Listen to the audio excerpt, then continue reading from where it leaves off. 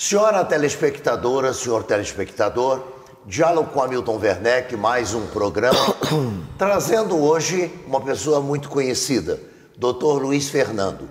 Ele já esteve aqui e foi entrevistado quando eu estava entrevistando cada vereador do município. Consegui entrevistar praticamente todo mundo. Agora ele está aqui convidado porque estou entrevistando todos os que se apresentam como pré-candidatos a prefeito de Nova Friburgo em 2020.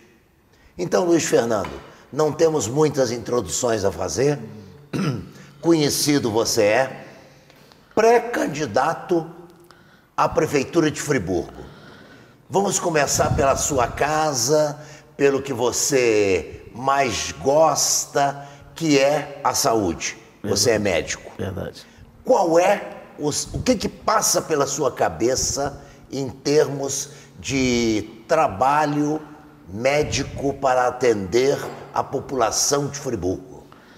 Um prazer estar aqui, né, Milton? É, aqui eu me sinto muito bem. O senhor me convidou e um, é um professor, uma pessoa muito culta, um cara, um grande amigo. Hamilton, é um sonho, né? Friburgo, há muito, alguns anos, está muito abandonada.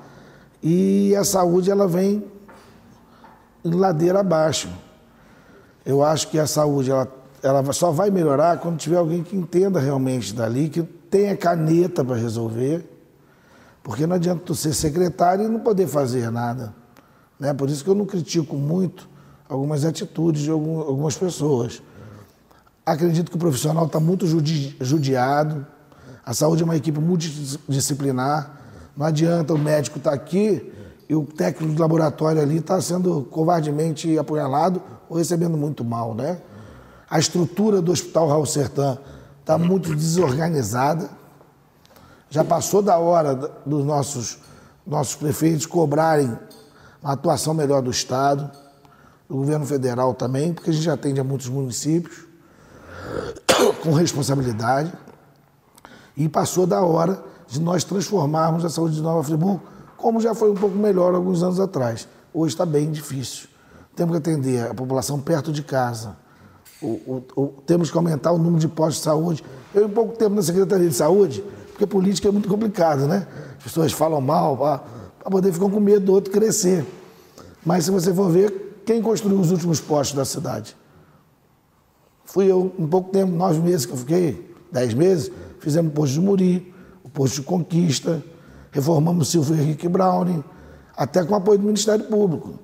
Então, o que acontece? A gente tem que ter vontade política e vontade, força para poder realizar as Ou coisas. seja, parece que na gestão da saúde de Friburgo, nós precisaríamos criar condições à distância do Raul Sertã Isso. e da maternidade para que as pessoas pudessem ser atendidas nessa periferia.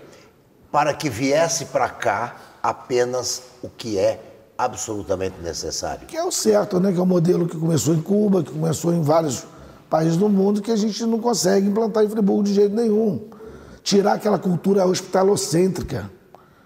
Porque veja bem, se você vai ali no, no posto de saúde perto da sua casa, você tem seu remédio, você tem seu médico te tratando com carinho, uma recepção que tem respeito por você, você, 50% da sua doença está curada ali. Pô, nós nunca vimos o que está acontecendo hoje na nossa cidade. Quantos meses, Hamilton, estamos sem exame de sangue na rede? Isso eu nunca vi. Desde a época da saudade, desde a época de todos os outros prefeitos que eu acompanho, que eu trabalho na rede. Eu nunca, estou um pouco gripado, tá? Desculpa, Hamilton. É, eu nunca vi a falta de exame de sangue no município. A população não está conseguindo é, realizar os exames. Deu problema na licitação, nas coisas deles lá. Não interessa, a população não pode ficar sem exame. Então, pelo que eu depreendi até agora, no campo da saúde, você, pré-candidato, se chegar a prefeito de Friburgo, você vai atuar no aumento de unidades de pronto atendimento e postos de saúde nos distritos. E nas condições de trabalho dos funcionários. Que estão muito, eu sou um lutador pelos, por causa dos funcionários né, públicos, né? Da condição de trabalho para poder cobrar. Não adianta eu cobrar se o cara não tem estrutura para trabalhar, como que você vai cobrar? Né? Orçamento. O orçamento da saúde, você, é, há pouco tempo atrás vocês votaram o orçamento para 2020. Você é vereador e Câmara de Vereadores. Um orçamento de 580 milhões de reais. Quanto, na realidade, ficou destinado à saúde? Só para a Folha, meu, ficou 40 e poucos milhões, mas hoje gasta 80 e poucos milhões. Na Folha? É. Então, olha que absurdo. A gente está fazendo um orçamento que é fictício. Eu falei mesmo, falo novamente, aquilo ali é para inglês ver, né? É, a gente está enganando a si próprio. Só que a gente fez uma coisa interessante, os vereadores, mandar um abraço para todos os vereadores, limitou agora o remanejamento do prefeito do orçamento. Quanto que o prefeito, em 2019, poderia remanejar? Em 2019, ele podia chegar a mais de 50% de remanejamento. E hoje, com. Ah, Com a nova mudança, no máximo 20%.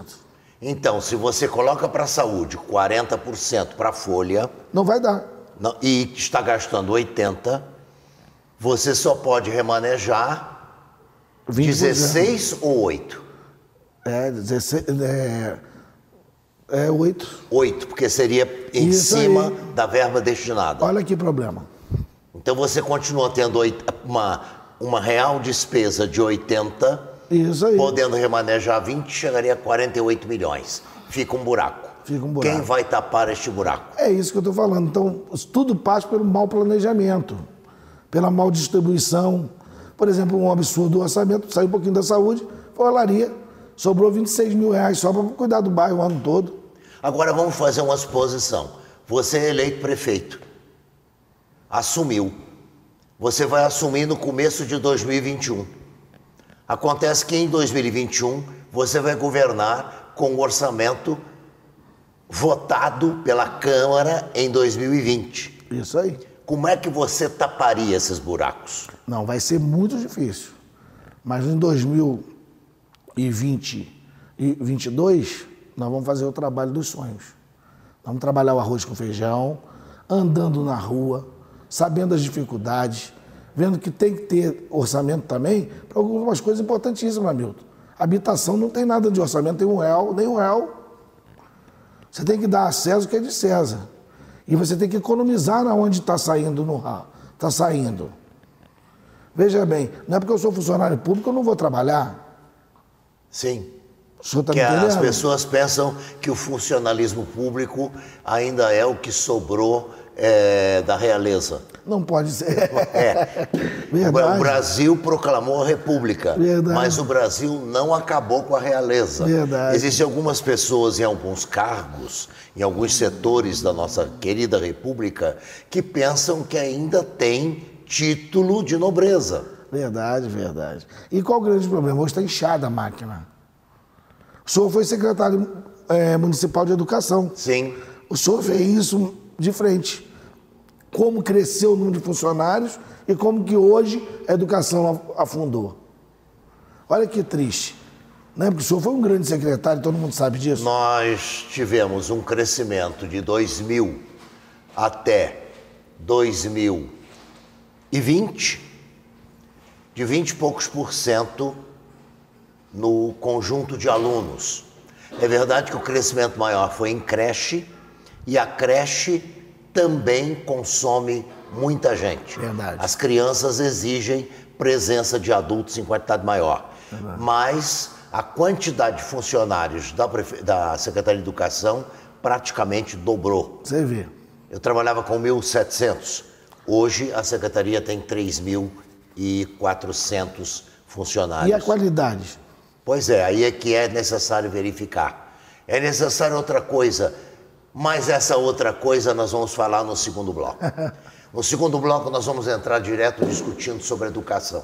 Não se afaste da telinha, que já retornaremos com o doutor Luiz Fernando Azevedo, pré-candidato a prefeito de Nova Friburgo.